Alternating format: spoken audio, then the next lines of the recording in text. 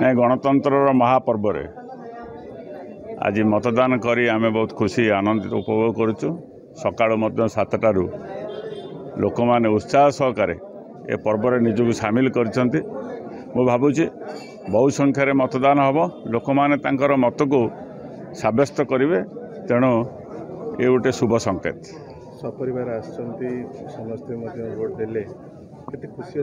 ନିଶ୍ଚିନ୍ତ ବହୁତ ଖୁସି ଅଛି। ସମସ୍ତେ ସପରିବାର ଆମର ପିଲାମାନେ ସମସ୍ତେ ଆସିଛନ୍ତି ଭୋଟ ଦେବା ପାଇଁ। ଏବଂ ମୁଁ ବୁଥ୍ କେନ୍ଦ୍ରରେ ମଧ୍ୟ ଦେଖୁଛି ଲମ୍ବା ଧାଡ଼ି ଲାଗିଛି। ଲୋକମାନେ ସମସ୍ତେ ମଧ୍ୟ ଭୋଟ ଦେବା ପାଇଁ ଉତ୍ସାହ ଅଛନ୍ତି। ତେଣୁ ଉତ୍ସାହ ଓ ଉଦ୍ଦୀପନା ସହକାରେ ଆଜିର ଏ ପର୍ବ ଅନୁଷ୍ଠିତ ହେଉଛି। ନାଇଁ ଏଥର ମତଦାନ କମିବନି। ଏଥର ଲୋକମାନେ ଉତ୍ସାହର ସହିତ ମତଦାନ ଦେବା ପାଇଁ ଆଗଭର ହେଇଛନ୍ତି। ଗଣତନ୍ତ୍ର ପାଇଁ ଏବେ ଏ ଏକ ଶୁଭ ସଂକେତ। ଯେପରି ଭାବରେ ମତଦାନ ହେଉଛି ଗଣତନ୍ତ୍ର ନିଶ୍ଚିନ୍ତ ଭାବରେ ସୁରକ୍ଷା ରହିବ।